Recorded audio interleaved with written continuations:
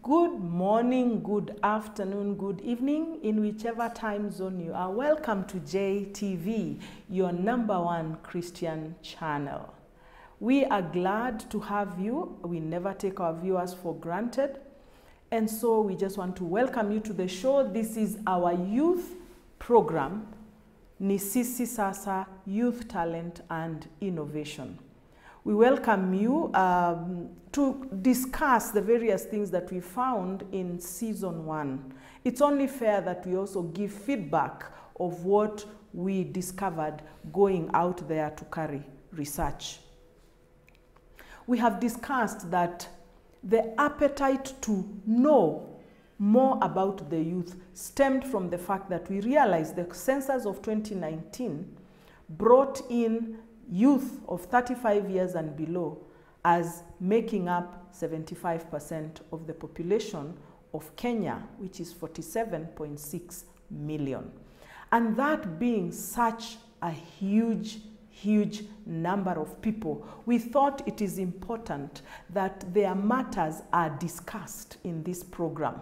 And so we have this program which will tend to look at what stemmed out of season one. And we are developing this program to also include live shows where we are going to carry out interviews for the youth who actually have undertaken things that have transformed.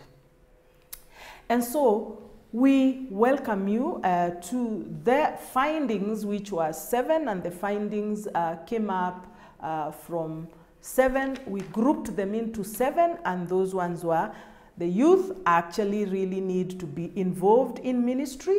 The youth have a lot of issues to do with family.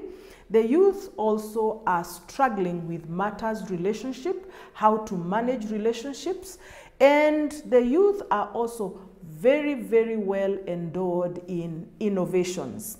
And so this is the an IT world, it's online systems, social systems. We are, it's a totally new way of communicating and innovations is an issue that the youth are very, very gifted in. Then we also have prayer. We discussed and have been discussing on this channel that the youth requested a lot of prayer. In fact, over 50% requested to be prayed for and for their mothers to be prayed for. A very interesting outcome. And then last week we discussed education at length very deep matters of education because this is probably one of the pillars that needs to be completely overhauled and looked at seriously because it is the one that will shake the foundation of this country from the outcome of matters corruption. And so we come with the last one, which is careers. So in today's session, we want to welcome you to just discuss careers as the youth felt what were their options in matters career. And so here we are, we welcome you. For our viewers who have just joined us, this is JTV, your number one Christian channel. Welcome to the show where we are going to look at careers.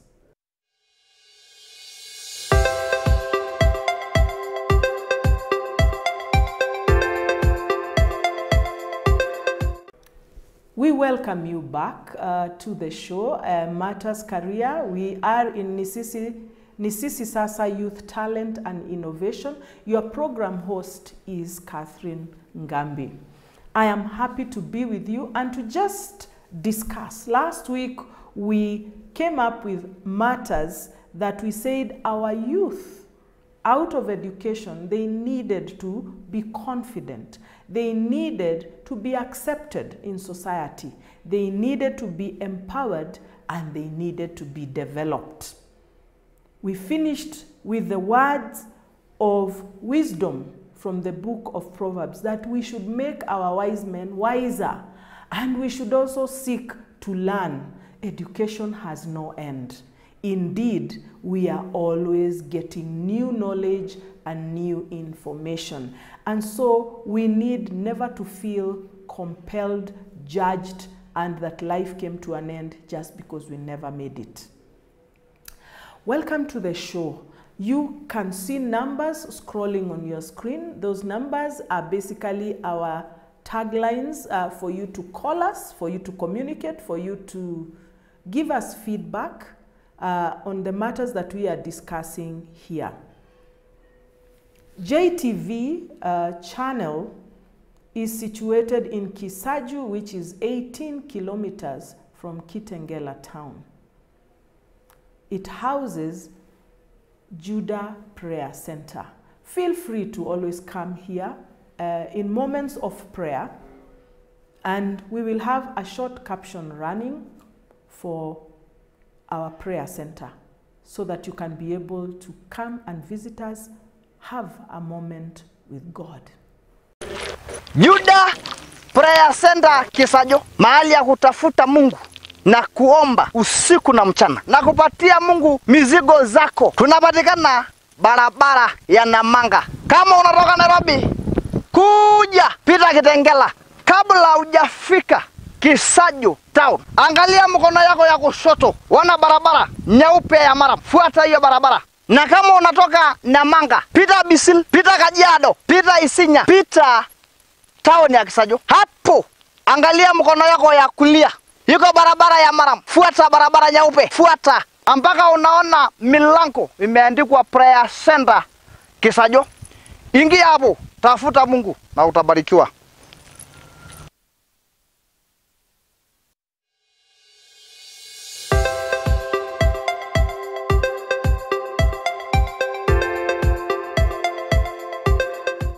You are welcome back, our viewers. This is JTV, your number one Christian channel. Matters career. When we look at the Bible, the Bible always has a word for everything in life. So we fail when we don't study the scriptures. Let us turn to Hosea chapter 4 and verse 6. A very, very famous statement in the Bible. My people are destroyed for lack of knowledge. Because you have rejected knowledge, I reject you from being a priest to me. And since you have forgotten the law of your God, I also will forget your children. Some serious words there. Now, knowledge, as we discussed the previous time in education, brings us now to the aspects of career. Why do people go to be educated? Why do people go to colleges? Why do people go to training institutions? The main issue with the youth will be mainly to fall in some program of career, some form of career. So, looking at the nation of Kenya, the nation of Kenya mainly channels people in two ways. You either now move out and do your own business, in which case that is what we are calling business and it's what we call entrepreneurship. An empowerment sector where people are self employed. Then we have the other stream, which is the, the, career, the career stream. Yeah, and that is employment. So, employment is actually what unfortunately seems to be the outcome of school. When you go to school, you will always sing mwisho wa kusoma utapata kazi nzuri sana. So even as we tear BD, we are tearing BD for us to be under someone else, not to be a master of our own, but to fall under someone. Is that really what God wants for us? And the aspect of the book of Hosea, my people are destroyed for lack of knowledge, those words scream out that even when we go through training and learning institutions, the main thing is for us to gather knowledge. And when we understand this knowledge that comes through facts, when we understand that knowledge, because data on its own does not help you until you use the data to become information. It informs you. And when it informs you and you understand what the data says, what do you do with that understanding? You use that wisdom because wisdom is actually application of knowledge. Now, this application is what the book of Hosea is mainly talking about. And just to remind you, we did stem from the book of Proverbs. And the book of Proverbs, when we read it, it came up with a statement in Proverbs chapter 9 and verse 9 that said, Give instructions to a wise man, and he will be still wiser. Teach a righteous man, and he will increase in learning. So when we go, we take this stream of careers. Which careers are available in Kenya? Kenya has those professional careers that cannot be inherited. And so you find parents telling their children, be a lawyer, be an engineer, be a doctor, you know, be, be, be, be, be, be an architect. Now, those careers really are careers, professional careers are grouped on a certain stem of their own. And largely, you find people who take those careers are rated as A or B students because they are their own boss. A lawyer naturally will not hand their, their law firm to a child who has not taken law. And that is where you find imprisonment within families, such that uh, since I am a lawyer, in this house there must also be lawyers, so that the firm, which is called Karanja and Degwa Advocates, will be inherited by someone who is a lawyer. All those clients and all the work that I have done needs to be inherited. And unfortunately, the person who is being told to go and study law does not like law at all. But because they are an A student and they want to live at peace with parents, and they also take cognizance of obey your parents, honor your parents' commandment, they go.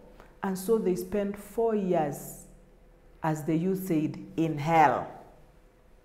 So, four years in which they know they need to still go back to that home, so they still have to pass very well. And so, what happens to a person who is in university, who is doing something that they don't feel how I feel? It's no wonder they will go into corruption. They will have people sit the exams because they don't find joy in it. They will pass. And what is happening? They have, there, there are people who will go into a career line that they don't love. So the joy of the Lord, like we are told, is not in them. You don't enjoy the career. And so at some point, you will find people, a very interesting thing that has come up with the youth. You find a lawyer, during the day he's in a law firm, and during the weekends he's a photographer. He loves photographing. He goes where animals are. And you try to connect that photography to law and you cannot understand. Now, those are disconnects. So, parents have played a huge role. Schools also advising have played a huge role of picking careers for people who seem to be having some certain grades. But have we ever connected passion to career? We know that when people do careers that they have passion in, it flows. And even when they are taught about leadership, within that passion, it flows very easily because they are able to implement things very, very easily. And that is the only context where empowerment flows without any flow. People can be developed very well when they are riding within their excellence. In terms of careers, as a HR practitioner, I have seen things happen like when you do a SWOT analysis, and that is strengths, weaknesses, opportunities, and threats. In the context of careers, that is a very important part of analysis. If you find that you find that someone is coming for interview of something which they have good papers in, But when they talk about it, they are lifeless. You can see that uh, it doesn't give them joy. But when you tell them, you don't seem like really, they always say, no, no, no, no, no, I'm good, I'm good, I can work. But the purpose, the flow is not there because it is not linked to their purpose. And so you find even when you take that person on board, because they score highly in everything, they do not deliver. They can deliver in terms of routine work, but they cannot be developed as a leader. You'd be making a very big mistake pushing that person to a level of supervision, manager, and finally director. These people, at some stage, their self esteem catches up with them. And they suddenly realize, I'm not even happy. I may be getting the six digits salary, but I'm not happy. So you're finding people who have gone back to school to now do what they feel is their purpose. Indeed, the Bible teaches us that when you connect with purpose, everything else fades away.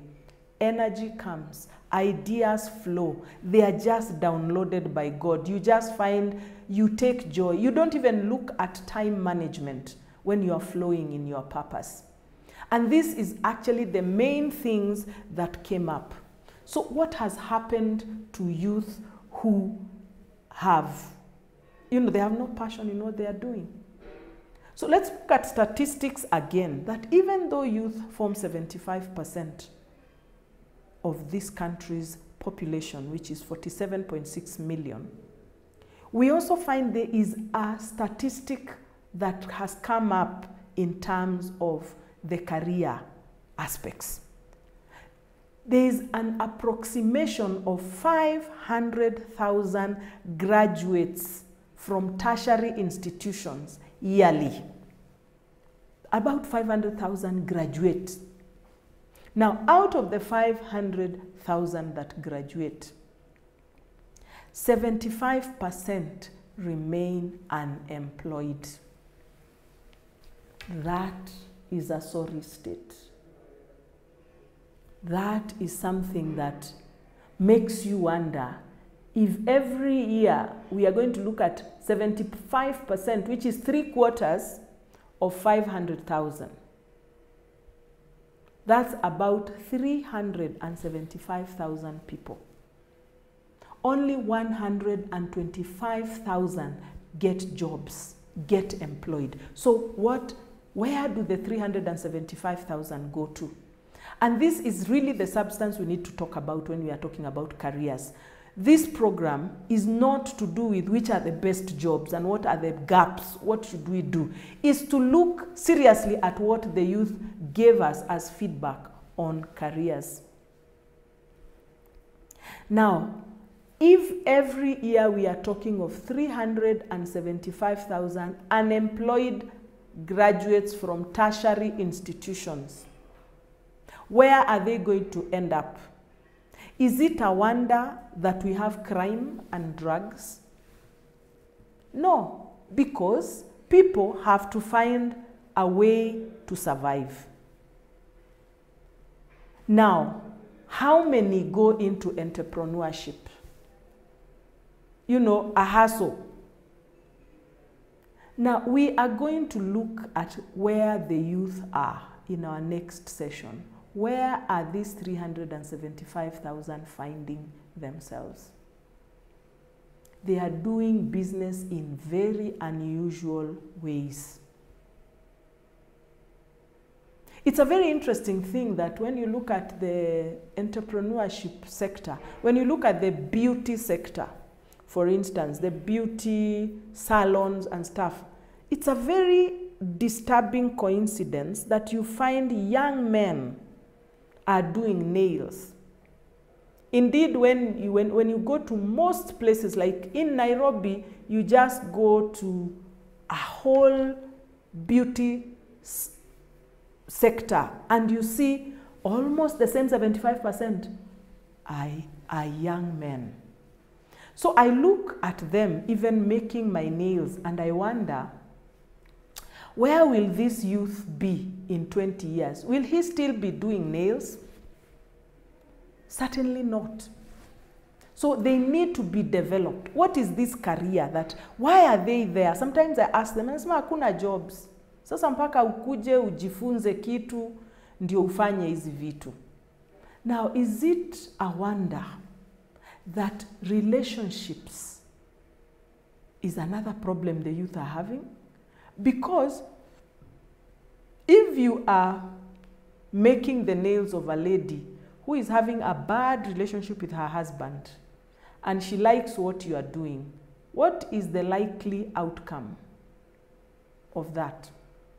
A lot of them have adulterous relationships with their customers. It is a glaring statistic. When you go to body massage, you find again the same statistic. You find it's young girls.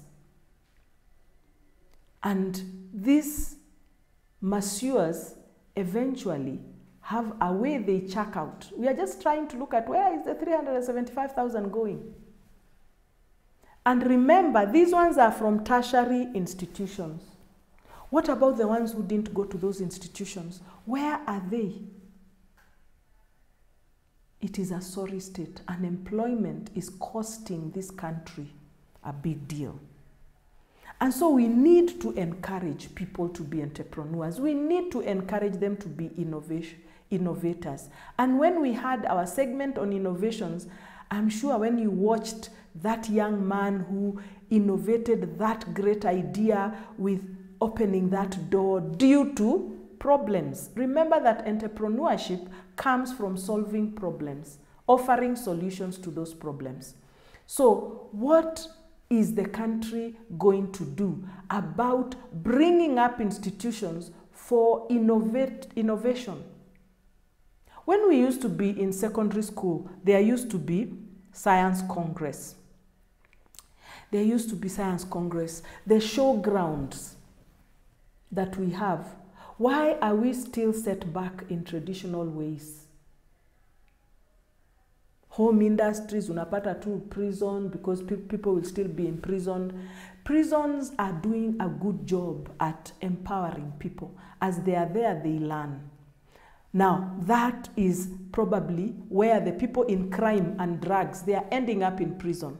And so in prison, they will do anything that the prison has resources for. We see the prison is doing a good job there because people end up sitting exams there. They end up coming out reformed, some of them, but not everyone.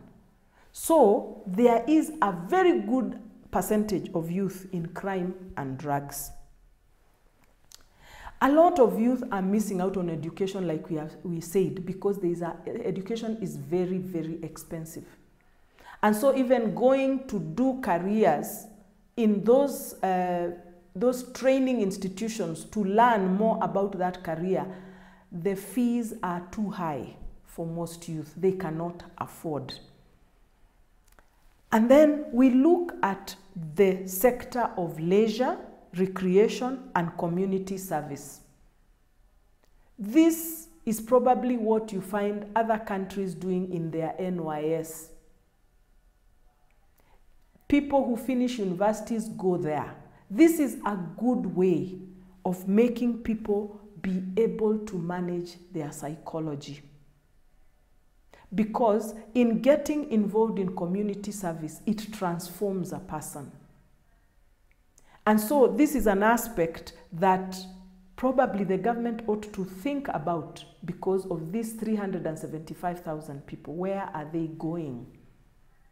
They need to be absorbed in a place that they will be empowered. So we need, we look at the careers and in environments, let's look at just something like agriculture. We asked them questions about agriculture. A lot of youth are not in agriculture. Indeed, when you go and look at the people that are doing agriculture, they even said, I like farming, but you know, those jobs that, that you are employed, you know, the flower industry, and the salaries are very low. So even from campus, they are not attractive because they know that even when they go into employment, they will still be the lower paid people. So the only farmers who make it are people who will go and run their own farms and be their own entrepreneur. But again, they say, where is the capital? So agriculture is one sector that requires a lot of this youth to be supported. The ones who feel that they can do agriculture, we need to encourage them to study in some of the things that are sectors that are lacking people. Agriculture is one of those sectors. We need food. People need to produce food. People need to embrace being farmers or having hassles to do with farming. But the youth are not attracted to such. Even the education system is not bringing them there. For parents, they also error. Instead of taking children to see their grandparents who are on farms so that they can know how cows are looked after, livestock, how this is done and how that is done, they remain in urban settings. And so they hate uh, farming. It is considered old fashioned. Yet food is not old fashioned. People eat food that is brought by these farmers. So if we have 75% ignoring this sector of agriculture, what is going to happen? We need the youth to be empowered, to embrace matters environment, and to also conserve the environment so that we are able to have a sustainable country. We can talk about rain, we can talk about, you know, water and all that. This is something that needs, the government needs to really, really encourage. Of course, the IT sector is which has marveled a lot of the youth because they are also born in the information age. And so we see it is a powerful sector. It is absorbing most of the people who are being absorbed in terms of IT. But they are ending up as workers, really, not so much on the innovation part. And so they need to also be involved in matters innovation, not just as, ah, this is our IT officer, this is our IT clerk, this is our social media analyst. Do you consider that the minds of a youth are so innovative? They have all the energy in the world. They need to be in innovating sectors. They need to be empowered in order for this industry to be able to, to do many other things. IT is a tool. So it is an empowerment tool. So it can be used in every sector. So we need this powerful tool to be actually implemented in every sector. We need to empower the youth to be able to use this knowledge that they have to be absorbed even by entrepreneurs. We need to have entrepreneurs watch over the youth by taking work studies. They, they, they empower. People are not there who are ready to work with the youth. Even when it comes to industrial attachments, that is another place where youth are being killed. Their careers are being killed there. When you go for IA, industrial attachment, you are supposed to be made to feel what it takes to be in that sector. But what you're finding is people are absorbing them and taking them to areas that they are not, that's not their area of study. A lot of internships are ending up as messengers of that office, tea girls, you know, different things. So it is something that we need to consider. For those who have just joined us, uh, this is um, this is Nisisi Sasa Youth Empowerment Program. We are looking at Matters Careers as, as the outcome came in season one of our show, where we were looking at the youth and what they are doing. And so, as we sign out, we look at what can we do to help the youth? What are the action points? Youth need access to financial resources for them for empowerment to happen, for them to be developed. They need to have access to financial resources. This access is not being given by the banks because the banks remain traditional in lending. The interest rates are high, the youth have no collateral, they have nothing on them. So, are we going to ignore what 75% of our population is saying?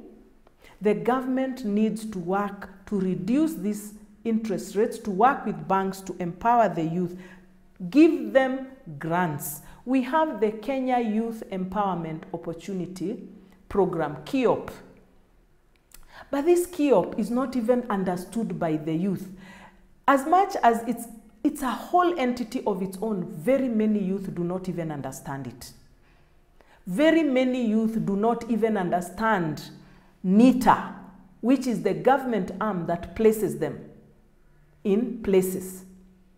The National Industrial Training Authority needs to be empowered to also develop the youth. It needs to work so much with the youth ministry to be able to help increase the number of youth that are absorbed in whether it is entrepreneurship or employment. But the NITA needs to also come in very strongly to supervise and make sure that the youth are, when they are doing their internship, they are doing the correct thing. They are not being misused and mishandled. Corruption is another issue that needs to be handled so that the youth have equal opportunities for everything that they re regard. In terms of education and training, we must invest in education and training for other sectors, like the film industry, the health industry is another issue that the youth really have passion for, but they cannot be absorbed because of the nature of how the sector is managed. So this has been your program host, Reverend Catherine Ngambi. I'm so happy that you have been here with me. The numbers that are scrolling there, feel free to reach us. This is JTV, your number one Christian channel. And this is the program Nisisi Sasa Youth Talent and Innovation. Feel free to call us and visit us in Kisaju. The clip that will run next will just show you our location. For drugs, we do have a rehabilitation center that takes care of addiction. Feel free to call us, feel free to comment, give us your feedback, like us on our YouTube channel, subscribe because it's scrolling right on your television set, on the gadget that you are watching us through. Subscribe, like us. This has been your program host, Reverend Catherine Ngambi. I am so happy that you watched this show. Give us your feedback. Thank you.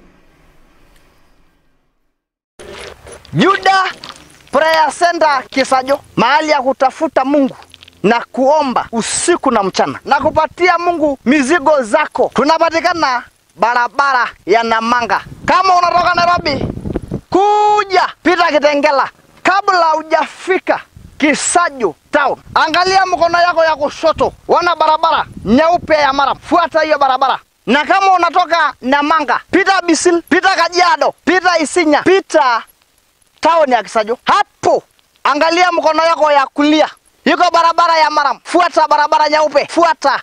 Mpaka unaona milango imeandikwa Prayer Center. Kisajo. Ingia hapo, tafuta Mungu na utabarikiwa.